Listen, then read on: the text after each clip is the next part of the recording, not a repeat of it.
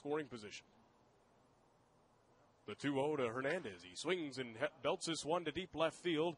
And Bianucci will watch this one hit off the base of the wall. A run comes across to score. He heaves it back into the infield. It's an RBI double for Hernandez. It's now 10 to 4 here in the ninth.